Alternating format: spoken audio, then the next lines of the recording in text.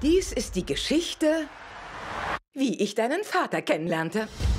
Es war schwer, 2022 das Hier und Jetzt zu genießen. Man konnte immer irgendwo anders oder mit jemand anderem zusammen sein. Ich weiß, das mag jetzt irre klingen, aber ich hatte 87 Tinder-Dates dieses Jahr. Mein letztes Date war bis jetzt das Schlimmste. Ich hatte ein anderes Date vor diesem und ich hatte gerade Sex. Das hat er dir gesagt? Wieso hat er dir das reingedrückt? Das war noch nicht mal das Schlimmste, Leute. Auf einen Abend mit neun Freunden. Das ist ein spitzenmäßiger Abend. Sprich mir nach. Heute ist das Anfangskapitel meiner nächsten großen Love Story. Heute ist das Anfangskapitel meiner nächsten großen Love Story. Ich mach Schluss mit Charlie. Es ist vorbei. Heulekatze, Heulekatze, Flagge von Portugal? Was? Das sollte aber noch eine Heulekatze sein.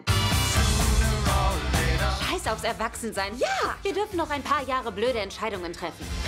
Das ist der beste Abend meines Lebens. Wenn du später mal von diesem Date erzählst, versprich mir, den Teil abzuändern. Es sind verwirrende Zeiten, in denen wir leben. Valentina, du bist komplett irrsinnig. Und das finde ich heiß. Es ist echt schwer, einen Draht herzustellen. Und zwar so, dass es sich leicht anfühlt. Irgendwann muss es ja mal sein. Sprich doch sie an. Und sage was. Ich könnte dir gefallen. Also soll ich sie anlügen? Gemeinsam erobern wir die Stadt im Sturm. Wir haben keine Angst vor dir, New York. Wir beide sind die tapfersten Menschen der Stadt. Darauf trinke ich.